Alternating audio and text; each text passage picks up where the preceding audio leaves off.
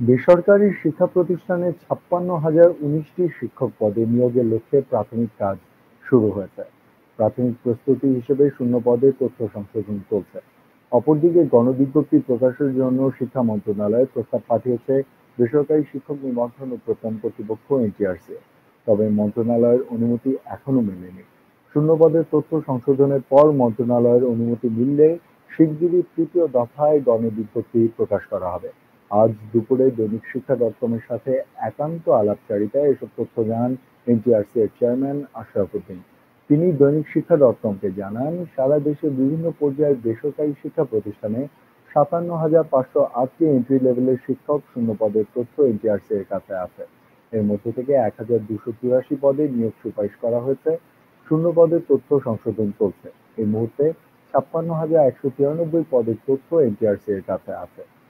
ইতোমধ্যে শিক্ষক নিয়োগের জন্য আইন মন্ত্রণালয়ের মতামত পাওয়া গেছে। এ বিষয়ে প্রাথমিক কাজ শুরু করা হয়েছে। শিক্ষা মন্ত্রণালয়ের সার্বিক বিষয়টি উল্লেখ করে প্রস্তাব পাঠিয়েছে এনটিআরসি, কিন্তু অনুমতি এখনও পাওয়া যায়নি। এদিকে শূন্য পদের তথ্য সংশোধন চলছে। মন্ত্রণালয়ের অনুমতি পেলে দ্রুত সময়ের মধ্যে নিয়োগ কার্যক্রম শুরু করতে গণবিজ্ঞপ্তি প্রকাশ করা হবে বলেও জানান তিনি। জেলা শিক্ষা কর্মকর্তাদের মাধ্যমে পনেরো মার্চের মধ্যেই শূন্য পদের তথ্য সংশোধন হয়ে যাবে বলেও আশা প্রকাশ করেন তিনি।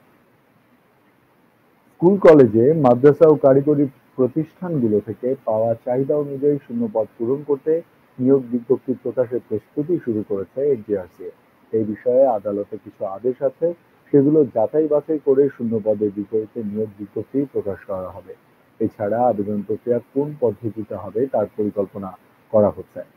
এনটিআরসি এর কর্মকর্তাদের সাথে কথা বলে জানা গেছে, আটটি অঞ্চলের জেলা শিক্ষা কর্মকর্তাদের সাথে সমন্বয় করে পনেরো মার্চের মধ্যে শূন্য পদের তথ্য সংশোধন করতে আটজন কর্মকর্তাকে দায়িত্ব দেওয়া হয়েছে। তারা সার্বক্ষণিকভাবে জেলা শিক্ষা কর্মকর্তাদের সাথে যোগাযোগ করে শূন্য পদে তথ্য সংশোধনে সহযোগিতা করছেন জেলা শিক্ষা কর্মকর্তা যাতে লগ ইন করে নিজেরাই শূন্য পদের তথ্য সংশোধন করতে পারেন, সার্ভারে সে সুযোগ দেওয়া হয়েছে।